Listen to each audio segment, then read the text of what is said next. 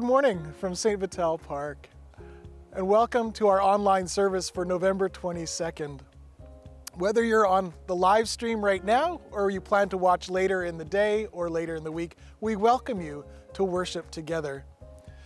Let's pause for a moment to reflect on the purpose for the church being gathered, whether here in person or online as we do today we are gathered to worship God the Father, who has given us a living hope of redemption in Jesus Christ through the power of the Holy Spirit alive in us. This morning's service is a little different than we had planned. We are in a time of continual change and adaptation. We had planned for this morning to be a service of music and testimony with the harpist Edward Clausen, but plans have changed. Instead, we will be blessed this morning and led in worship by Chris and Jodi Cragen from their home, and we will be encouraged in the Word by Kevin Dyck, who is also preaching this morning in LaSalle. Coming up this evening, we have a congregational meeting at 6:30 p.m. Uh, you will have seen a registration link for that meeting in the email this morning or uh, in the newsletter earlier this week. Click on the registration link and once you register, you'll be sent the information to uh, sign into the meeting this evening. Next Sunday is the first Sunday of Advent. We are preparing links to some devotionals and readings and activities that will be available on the website, so keep your eyes open for that. And families will be receiving a package of Advent materials and activities from Pastor Ruth in the coming days. Our call to worship this morning comes from Psalm 33. You know, life is a bit of a roller coaster these days, for some of us more than for others. But each day holds potential potential for blessing and also potential for unexpected challenges. But we serve and bear witness to a God who is bigger than all of it, a God who hears and sees and knows our situation and has the power to act on our behalf.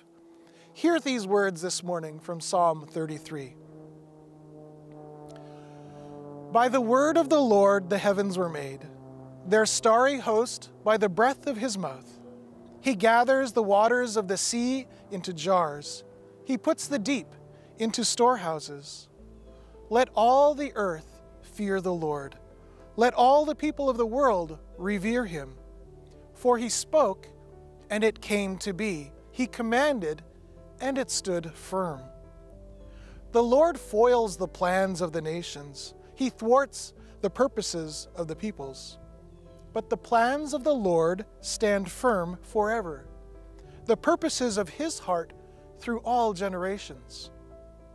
We wait in hope for the Lord. He is our help and our shield. In Him our hearts rejoice, for we trust in His holy name. May your unfailing love be with us, Lord, even as we put our hope in you. Let us turn our hearts towards worship and praise this God of hope. Good morning and welcome to worship. Please join us in singing.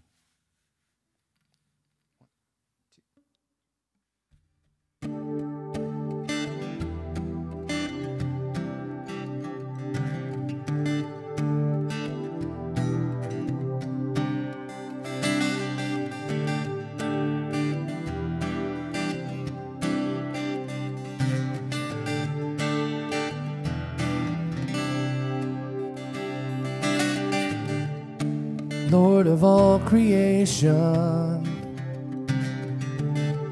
of water, earth, and sky. The heavens are your tabernacle. Glory to the Lord on high. God of wonders beyond our galaxy. You are holy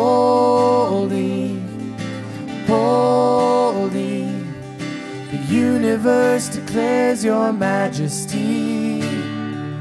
You are holy, holy, Lord of heaven and earth.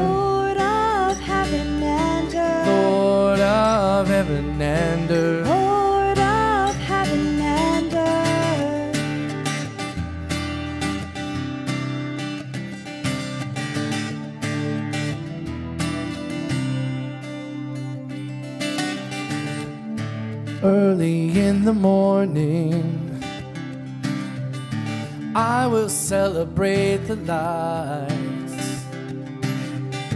When I stumbled in the darkness, I will call your name by night. God of wonders beyond our galaxy, you are holy, holy. Universe declares your majesty. You are holy, holy, Lord of heaven and earth. Lord of heaven and earth. Lord of heaven and earth. Lord of heaven and earth. Hallelujah to the Lord of heaven and earth.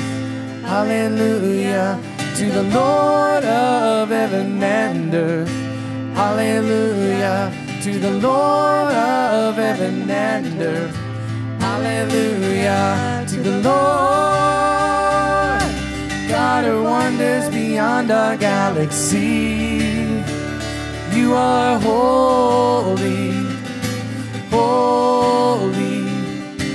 The universe declares your majesty. You are holy, holy. God of wonders beyond our galaxy. You are holy, holy. Precious Lord, reveal your heart to me. Father, hold me, hold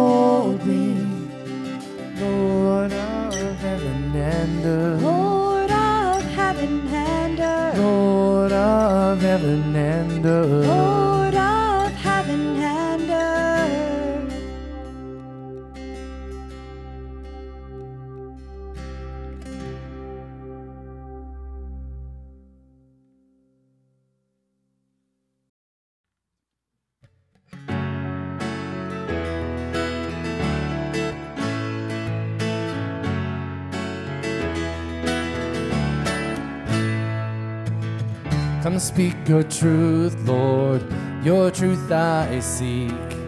I'll trust your words, not what I see. Grant me your blessing, your grace this day. Yet not my will, but yours I pray. May thy will be done as it is in heaven. May thy kingdom come. Lord, as you give and as you take away, this prayer remains. May thy will, may thy will, may thy will be done.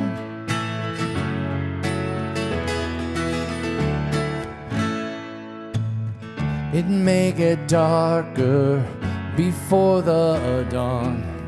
Yet where you lead, I'll carry on. I know you're able to rescue me.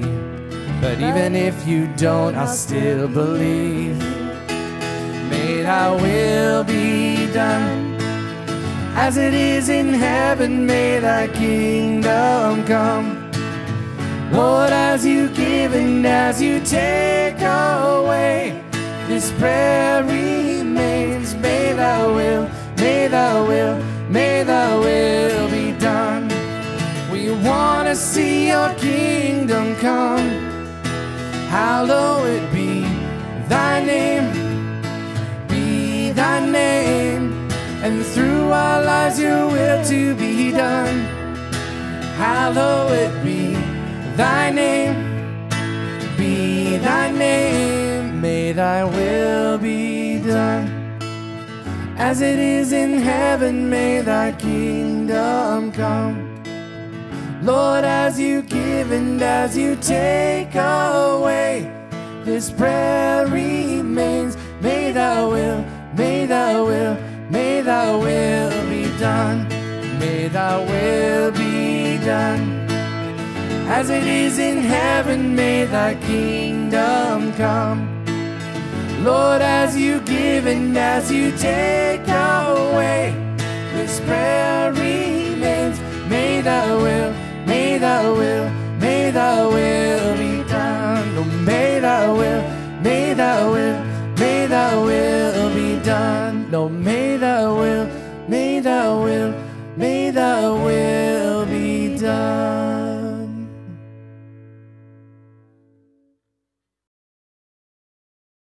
Every Sunday, we have a focus on our kids and family. The Bible story videos follow the children's curriculum that families are using at home. This week's story will end our look at Moses, and next week, we'll begin with Advent and the birth of Jesus. I was made for this, I live for this. God has a reason, a reason for my life. I'm gonna shout it out without a doubt. I was born for this, built for a purpose.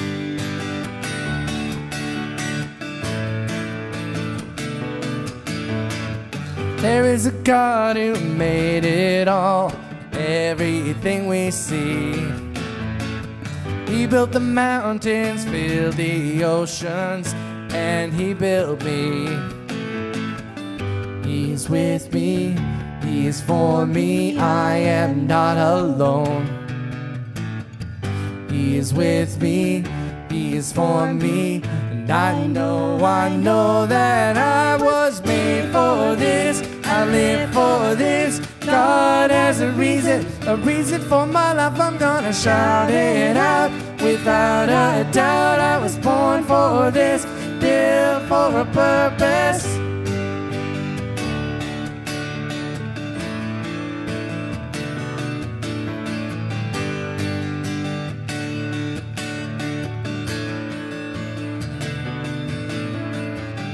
He is with me, He is for me, and I am not alone. He is with me, He is for me, and I am not alone. He is with me, He is for me, and I am not alone.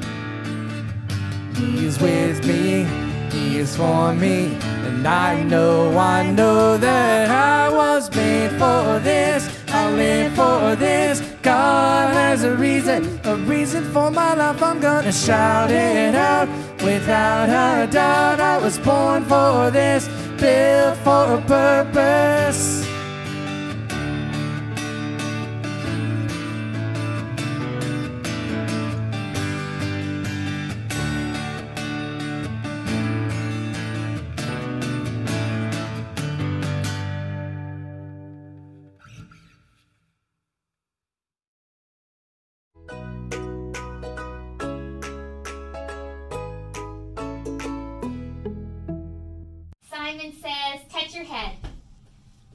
Simon says, give yourself a big hug.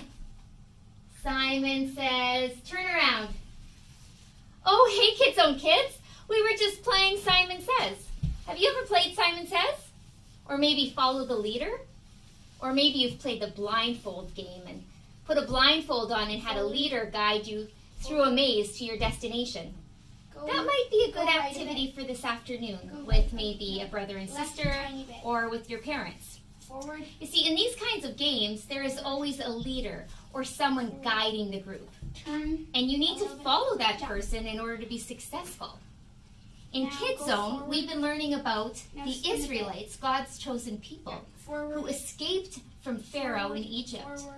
And they're on their way into the promised land. this side. Go forward. Moses has been leading the Israelites, but for the first time ever, they have a new leader. You see, Moses is guide, and God has appointed Joshua. Check it out. This is Joshua. Joshua was the leader of the Israelites, who God would use to take his people into the promised land. Yeah, let's do it. Joshua readied his people to cross the Jordan River, which was the only thing dividing the Israelites from the land that God had promised to them. All right. Right here. Okay. They camped beside the river for three days, waiting, just as the Lord had commanded them. At this time of year, the Jordan River was flooded and flowing with so much water that it was impossible to cross on foot. And then the Lord said, Let there be light. Hey, priest. Yeah? Come on. God told Joshua to tell the people that the priests would carry the Ark of the Covenant and lead the people through the water. Told the priests to step into the rushing waters, What? Huh? and when they would do this, the waters would stop flowing. Uh, what? And as soon as the priests did this, the water of the Jordan River did stop flowing, Yeah. and the priests stood with the Ark of the Covenant on dry ground as the Israelites crossed to the other side. All right. God told Joshua to send 12 men from the 12 tribes of Israel To take 12 stones from the place that the priests were standing. When all this had been finished as God commanded, Joshua called the priests from the Jordan. We're good. Come on. As their feet left the Jordan River, the waters came back into place, just as they had been. Wow. Yeah. Yeah. Yeah. They brought their stones to their camp and set them as a memorial, so future generations might remember the story of how God brought his people through the Jordan River on dry ground. They made it to the promised land. Finally. If it were me, I'd want to have a party.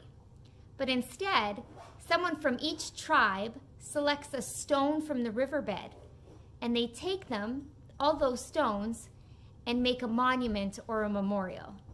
Do you know what a memorial is?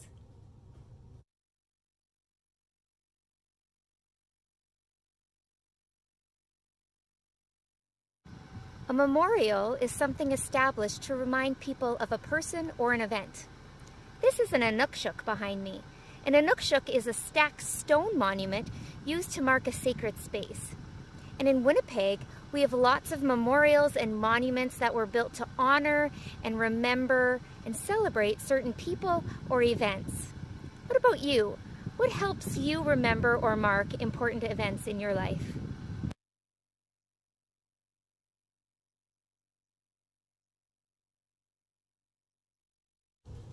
When the Israelites carried the stones from the riverbed and stacked them up, it reminded them of God's mighty act in drying up the river.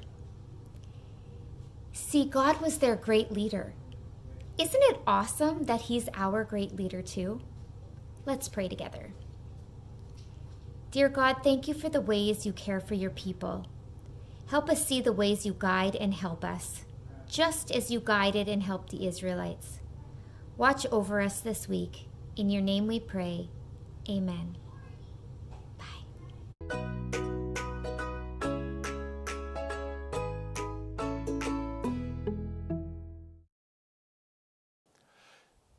In the scriptures, it says that as God's people, we offer our lives to Him as an offering, a pleasing sacrifice.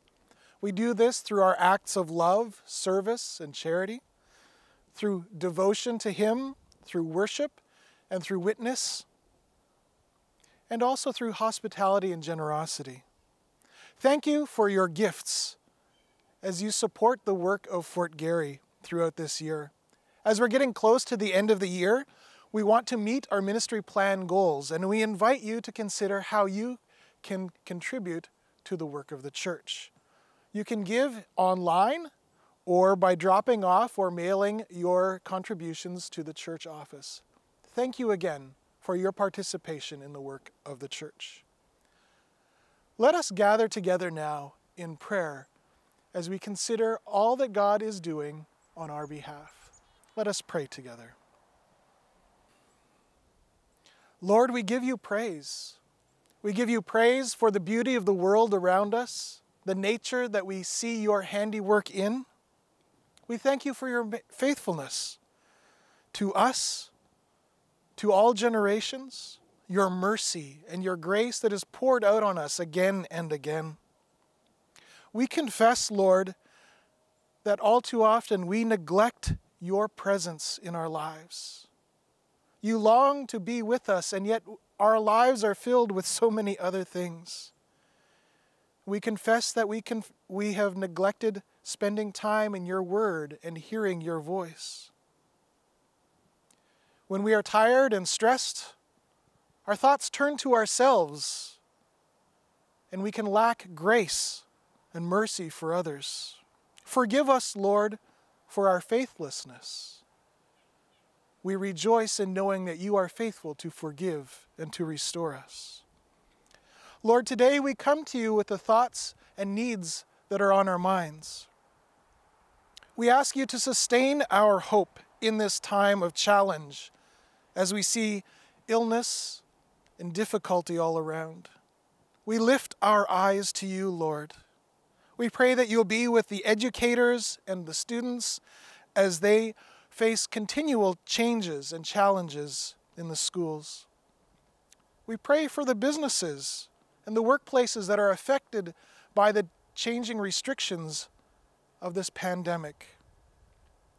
We pray for the health and well being of the people in our community and here at Fort Garry as we struggle with, uh, with various illness and disease, as we long to be together with people and we sense that separation and isolation from others, we ask for your presence to fill that space and draw us into your presence.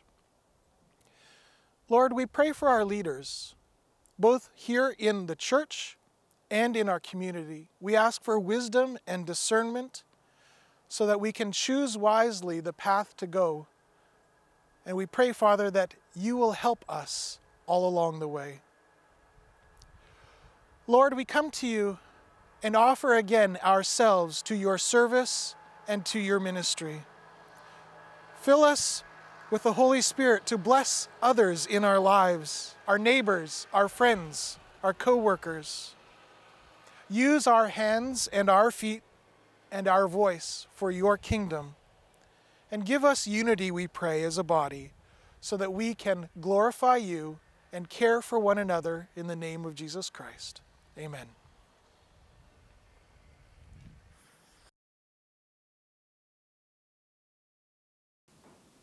Hello, everyone. Uh, it's, uh, it's great to be with you and to be able to share a message with you today. Uh, but it's been a, a winding, unexpected journey getting to this point, getting to this Sunday for me, though. Uh, Pastor Carl alluded to this already earlier. Uh, way back in March, uh, we had scheduled a special service for this Sunday. Uh, the special service certainly did not involve me uh, speaking to you today, and I had planned to have an incredible musician. He's a harpist uh, who travels across the country sharing the, the message of Jesus through music and storytelling and he was going to be with us leading most of the service. And I was so looking forward to hearing from him and having him minister to all of us. But Code Red happened, and to make a long story short, all of the plans that I had previously made with him were just no longer feasible. And so that brings us to the present, with me uh, being here in my home uh, to share this message with you uh, this morning. So, there's been lots of unexpected in the events leading up today. It feels like we live in a constant state of change, in a constant state of unknown, where there's unexpected that happens repeatedly. Our jobs have changed, going to school has changed, our lives have changed, uh, our communities are changing. And in all of this unexpected change, there's a level of response that we have to make. How do you respond when something unexpected happens in your life? How have you responded recently? What informs you and directs you in your response? There's an Old Testament story that has some incredible insights and wisdom to inform us in these types of situations. And I was reminded of it after reading a book called A Tale of Three Kings. Uh, the book uses a, a method of writing as though one was witnessing a theatrical play, and it outlines the leadership style that King David demonstrated throughout his life, from when he was, uh, before he was a king, during his time as a king, and then towards the end of his reign. It's an insightful book. But the ending left me with several questions about the events of David's life, and so I turned to 2 Samuel and to Chronicles to refresh the story of David in my mind. And from that, the Spirit revealed some insights from David's life as it pertains to how he responded to an unexpected message for God and how that can pertain for us and inform us in our life. So we pick up the story in 2 Samuel 6. You can turn there in your Bibles to follow along with, if you'd like. I'll be paraphrasing and, and, and teaching the story in more of a storytelling format today. Uh, David was in his mid 40s and he had spent the last 15 years reestablishing the kingdoms of Israel and Judah through battle and war. He had just returned to Jerusalem, at which time he had brought the Ark of the Covenant back into the city or into the city of Jerusalem. David exuberantly danced and worshiped in the streets in front of the ark as it was brought to its new resting place that God had designated for it to be.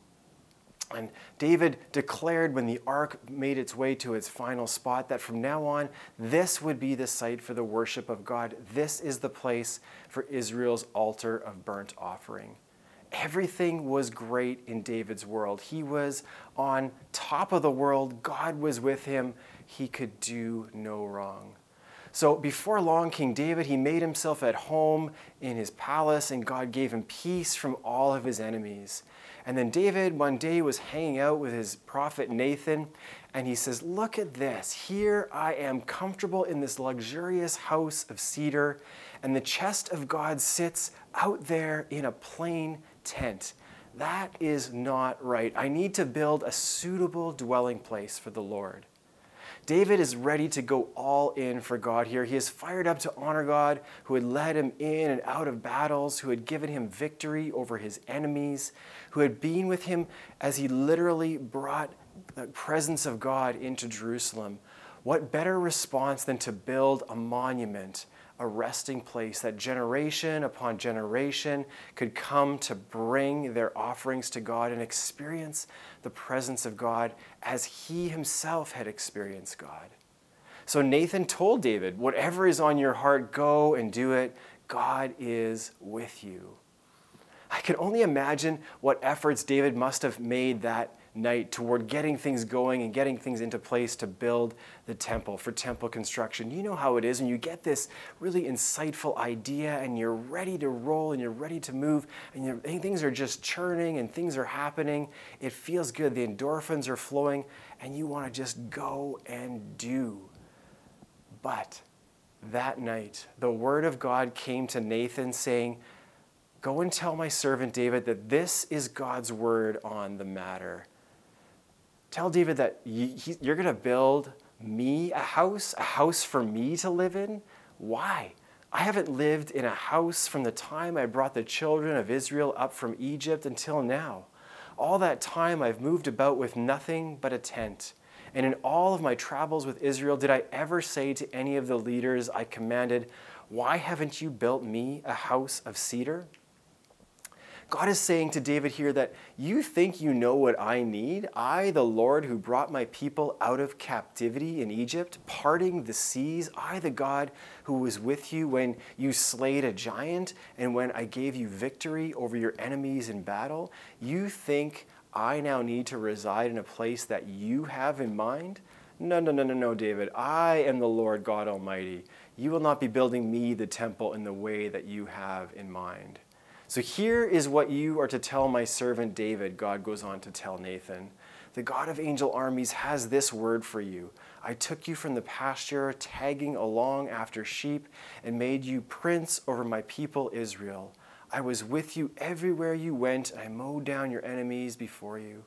Now I'm making you famous to be ranked with the great names on earth, and I'm going to set aside a place for my people Israel and plant them there so they'll have their own home and have peace. Furthermore, God Himself, I myself, God will build you a house. When your time comes and you rest with your fathers, I will raise up after you your descendant who will come from your body, and I will establish his kingdom. He will build a house for my name, and I will establish the throne of his kingdom forever.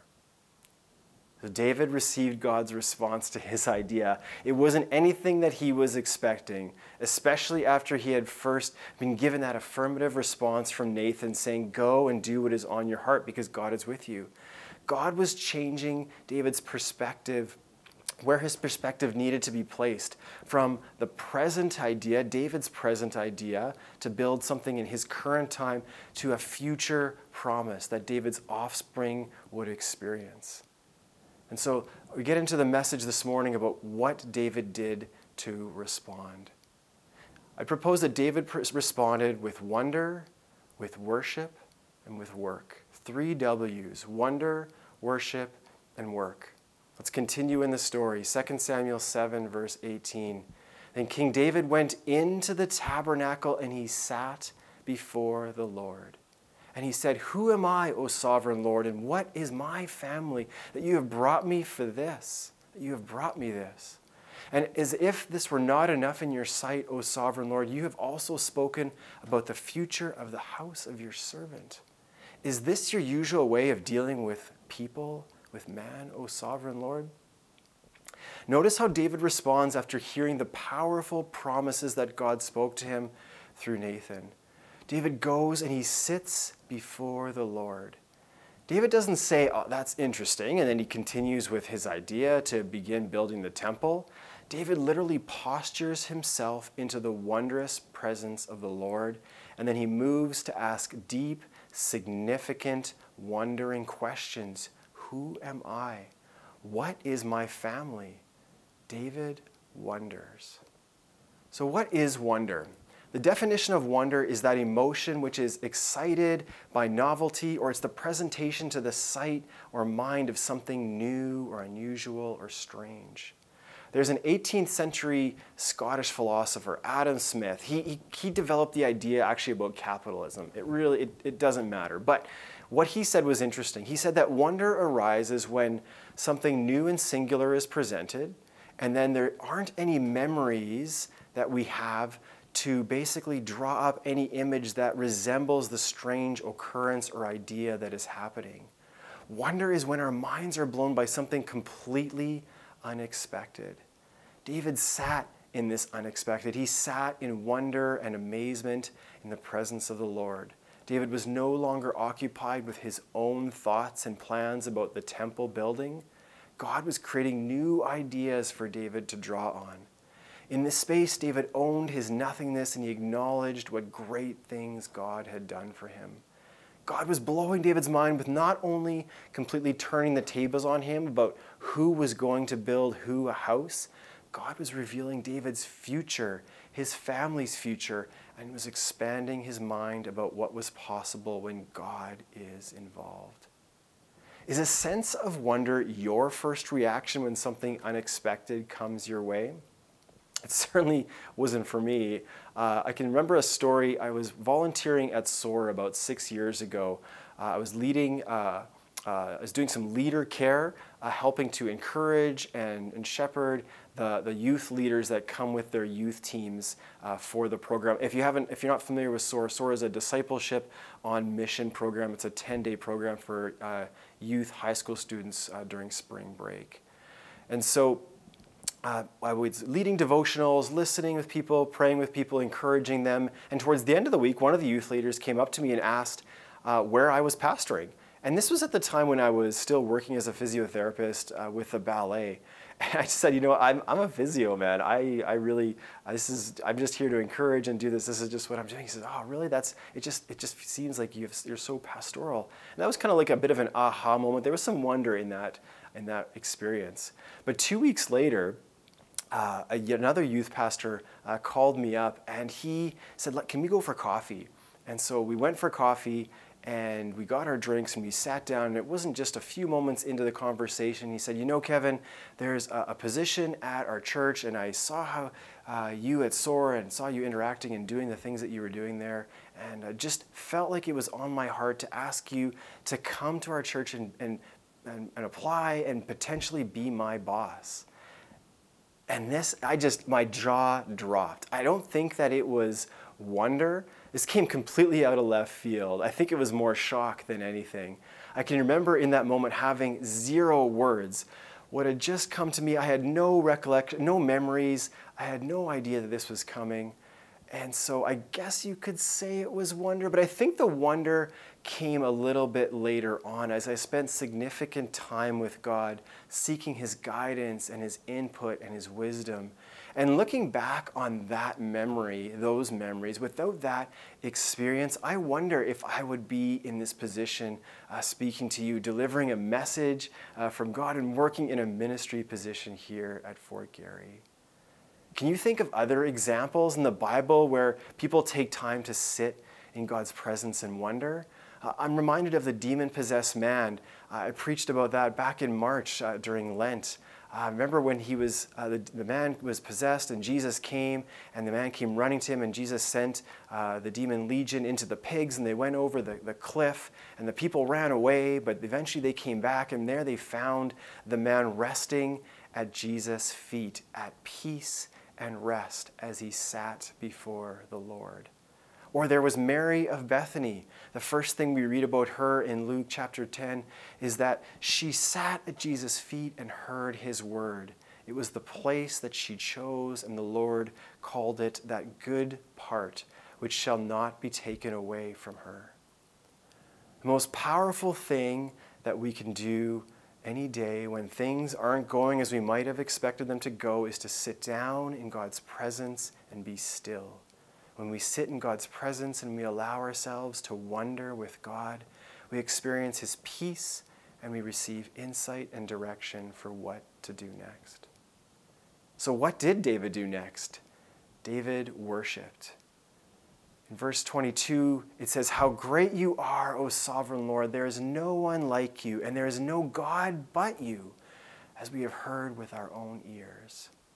So, after sitting down in God's presence, David's second response is to proclaim the greatness, the uniqueness, the singularity of God. The word worship comes from two old English compounds worth, we, weorth, W E O R T H, worth, and scipe. Worth means what it sounds like it's worth or worthiness, and scipe means to ascribe. When you put these together, you get the meaning of worship to ascribe worth. When we ascribe worth to something, we reveal what preoccupies us, what we value, what is important to us. In its most basic sense, when we ascribe worth and when we worship God, we indicate that God is what is important to us and we direct and shape our lives accordingly. These attributes are seen in David as he worships God, proclaiming God's sovereignty and worth in verse 22. David is not allowing his own personal thoughts of building the temple to take center stage any longer. He's valuing who God is and what God has to say more than being preoccupied with his own idea of building a home for God. He places full value on reminding himself of where his place is in the world and how big God is. God is more important to David than anything else, and he demonstrates this in his decision to worship in the tabernacle. I'm guessing that many of you have experienced the power and the life giving attributes of worship at some point in your life, at many times in your life. Beginning in this past September, I've been participating in uh, Multiply, that's our MB conference mission arm. I've been participating in Multiply's Trek program. The Trek program is a nine month program. It consists of two months of orientation and then five months of a ministry assignment, um, leading people to, to kind of consider a longer term mission. Uh, i was helping out in, in, a leadership role, helping them with some, some tech stuff, but I was participating as well, and so I'm doing some CMU uh, student work in conjunction with that. And there will be some sort of special project coming at Fort Garry that I'll be a part of. Uh, stay tuned for more details on that. So each day at orientation, we would spend an hour in worship.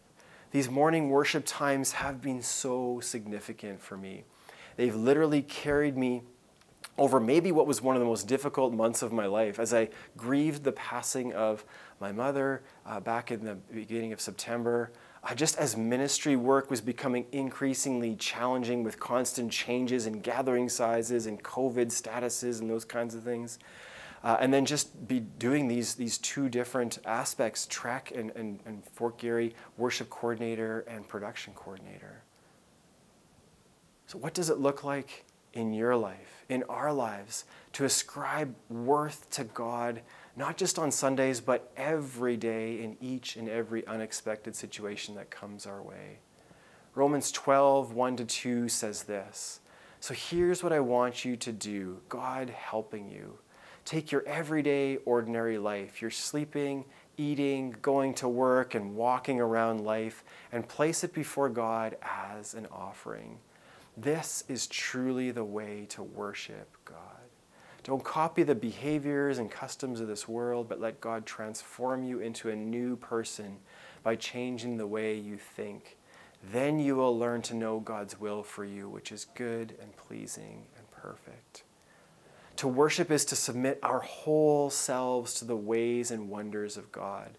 We go to God and offer God everything that we have regularly, daily, hourly, uh, Randy Friesen, who was recently the director of Multiply, uh, he was teaching at Trek and he shared the way that he worships each and every day. He starts his day with this practice and regularly returns to these four ideas, uh, four thoughts throughout his day. And I'd like to share them with you because I've, as I've practiced this over the last month or so, I've just experienced the wonder and the power of the Spirit um, as I've been challenged through unexpected circumstances. So Randy uses the acronym PREP, P R E P, PREP. So first you proclaim who God is. I find myself singing opening stanzas of song lyrics here, like praise God from whom all blessings flow. Oh, okay, no more singing. I'll keep that to the shower. Uh, or Jesus Christ, my living hope, or, or our God is an awesome God, He reigns from heaven on earth. I'm sure there's song lyrics that would resonate with you. And then after you proclaim the goodness of God's nature, you continue with proclaiming who you are in Christ. I am a child of God. I'm holy and blameless, a royal priesthood, an ambassador of reconciliation. I'm sure that you can think of many more attributes and just scriptures of who you are in Christ. So, first, you, uh, in your prep, P, proclaim who God is, proclaim who you are in Christ. Next, repent. Repent of anything that keeps you or us from the glory of God. We repent what we have done or, or haven't done that doesn't reflect our character in Christ. Uh, the third thing is to entreat. What is entreat? This is how you're going to remember this prep because entreat is such a unique word. Entreat means to ask someone earnestly or anxiously to do something. And so we earnestly ask God to fill us with the Holy Spirit. We ask God to allow the Spirit to do its incredible work in us for that day, in that next situation, in that next conversation that we have. We intentionally ask God to allow the power of the Spirit to be at work in us, uh, starting in that first moment when we wake up in the morning. So we've got the P, proclaim, R, repent, E, entreat, and the last P is to put on the armor of God. In Ephesians 6, God, in Ephesians 6, Paul gives a final word to the church to be strong in the Lord and in his mighty power. We put on God's protection so that we can stand firm against all the strategies of the devil. Uh, what is this armor? It's a helmet of salvation, a belt of truth, a chest plate of righteousness, shoes of peace, it's a shield of faith, and it's a sword of the Spirit, the Word of God. PREP, P R E P. This is one example of a way to worship, and I'm sure there are many, there, there are, there's many ways to worship God. Can I encourage you to make some sort of worship a priority in your life each and every day. When something frustrating comes your way, worship. When a decision doesn't go as planned, worship. Like when you step through that door that, that is open, that God opens for you, but what's on the other side isn't quite what you expected, worship. Ascribe worth to God in everything that you do. And so the last of our W's, wonder, worship, last of our W's is in David's response to God is that he did get to work. Even though God said David would not be the person to actually build the temple, we know from Scripture that David did get to work on preparing to build it. Uh, Solomon, his son, would eventually do uh, the building. And in chapter 22 of First Chronicles, the writer outlines what David actually did do in preparation to build the temple as he is speaking to his son Solomon. David says, By hard work, I've collected several billion dollars worth of gold and millions in silver and so much more iron and bronze that I haven't even it. I have also gathered timber and stone for the walls. This is at least a beginning. It's something from which to you, for you to start. So get to work, and may the Lord be with you. And then David ordered all the leaders of Israel to assist his son in this project. But David continued to prepare and plan and work for God's glory to be manifested in the, in the temple, but only when it would be the right time according to God. This promise to David and Solomon was that the temple would be a foretaste of God's abiding presence with his people. Little did David know that the message from God via Nathan had little to do with a physical structure, but was pointing to a, a new temple. 2 Samuel 7 11 to 16 says, When your life is complete and you're buried with your ancestors, then I'll raise up your child, your own flesh and blood, to succeed you, and I'll firmly establish his rule. He will build a house to honor me, and I will guarantee his kingdom's rule permanently, and your royal throne will always be there, rock solid. The temple David wanted to build was a picture of how people could relate with God through their, their perpetual sacrifices. But in this passage, God is reminding David and us that it was not the house David wanted to build for God that would bring salvation. It was the house that God was giving to David and all of mankind, to you and I. It was Jesus these words would be made true in the coming of Jesus. Jesus himself would be God's temple, the place where God's holiness resides, and the place where Jesus calls his people to join him. Jesus would end up doing the saving work that David unknowingly would be connected to as he desired to glorify God. So, where's the work for us in this? What work are we called to do? Colossians 3:23 says that whatever you do, work at it with all of your heart as though you are working for the Lord and not for people. Jesus, after leaving this earth, invites us to continue his work of establishing and building his kingdom here on earth. We have the opportunity to work to demonstrate the love and the redeeming uh, grace that Jesus commissioned us to do, to go out and make disciples and to establish a kingdom way of life uh, in our own lives and in our own contexts and in our own communities. We are moving into a season of Advent next week. Uh, can I invite you to put this idea, these ideas of wondering and worshiping and working into action in the coming weeks? This season is not going to look and feel like any other Christmas season. There's going to be the unexpected. There's going to be joys and there's going to be sorrows. There's going to be challenge and there's going to be beauty. How are you going to respond in the unexpected of this Christmas season? So, in the coming days and in the coming five weeks, I invite you to wonder and worship and work. Wonder about the miracle of Jesus coming to this earth. Worship God in your day to day, eating and breathing and sleeping life. Consider all that Jesus has done for you through his redemptive work on the cross. For with Jesus, you yourself are the living temple, and God's Spirit dwells in you. Amen.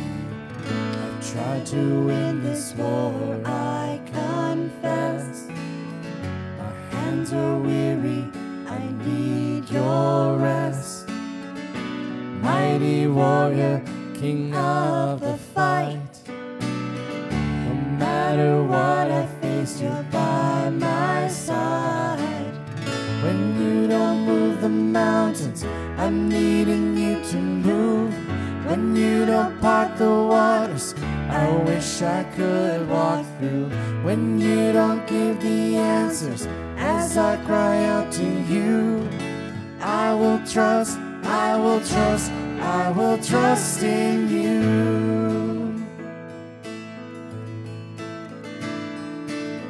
Too busy know what tomorrow brings. There's not a day ahead you have not seen. So in all things be my life and breath. I want what you want, Lord, and nothing less. Mountains, I'm needing you to move. When you don't part the waters, I wish I could walk through. When you don't give the answers, as I cry out to you, I will trust, I will trust, I will trust in you. I will trust in you.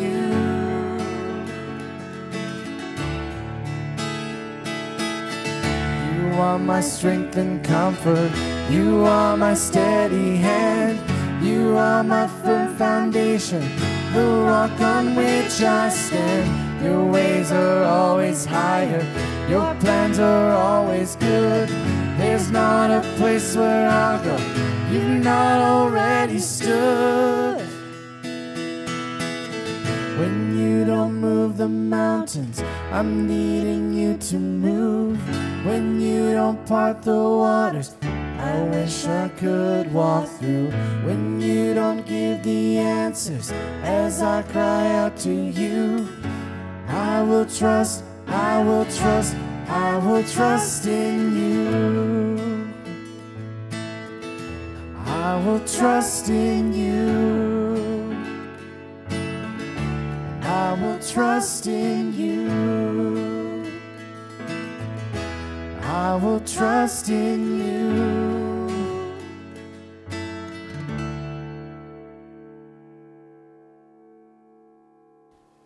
Thank you, Kevin, for encouraging us from the word this morning. As you go today, hear again these words from Psalm 33. We wait in hope for the Lord. He is our help and our shield. In him our hearts rejoice, for we trust in his holy name. May your unfailing love be with us, Lord, even as we put our hope in you. Go now in peace and love to serve our God. When you don't move the mountains, I'm needing you to move. When you don't part the waters, I wish I could walk through. When you don't give the answers, as I cry out to you, I will trust, I will trust, I will trust in you. Too busy know what tomorrow brings. There's not a day ahead you have not seen. So in all things be my life and breath. I want what you want, Lord, and nothing less. When you don't move the mountains, I'm needing you to move. When you don't part the waters, I wish I could walk through. When you don't give the answers, as I cry out to you, I will trust, I will trust, I will trust in you. I will trust in you.